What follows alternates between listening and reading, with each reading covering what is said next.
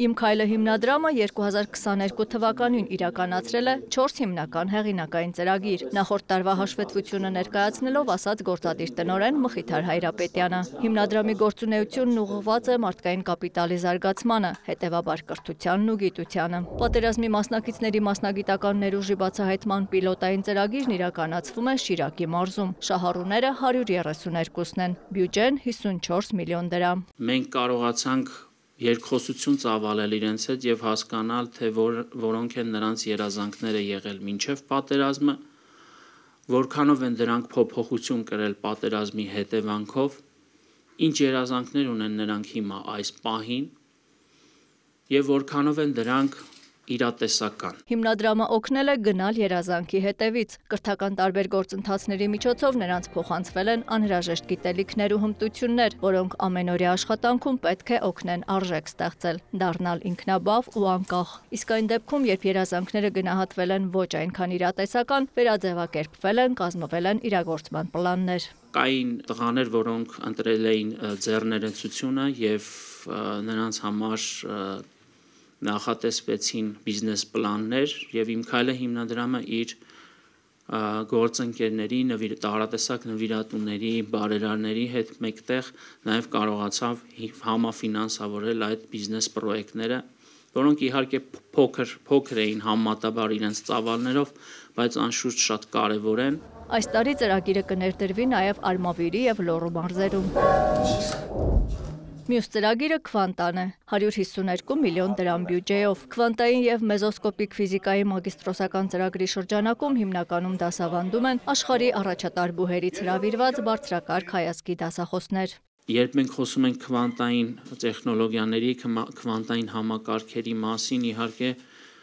նախ նկատի ունենք ռազմարտունաբերության ոլորտը, այսինքն այն մասնագետները, որոնք կստանան համապատասխան գիտելիքներ ինչու ոչ նաև կկարողանան ներգրավել տարատեսակ տեխնոլոգիական ընկերություններում հիմք հանդիսանալ հայրենական տեխնոլոգիական ընկերությունների հիմնադրման, զբաղվել գիտահետազոտական աշխատանքներով, ներգրավել բանկային համակարգում եւ այսպես շարունակ։ Հանրակրթության ոլորտում էլ հիմնադրամը նախատեսում է լաբորատոր սարքավորումներ տրամադրել դպրոցներին։ Արդեն որոշում կա ԵՊՀ STEM ավագ դպրոցին փոխանցել 8 սարքավորում մենք հավատացած ենք, որ հնարավոր է ստեղծել այնպիսի մի նոր կրթական մոդել, օրինակելի մոդել, որով հնարավոր կլինի մասնագիտական կրթությունը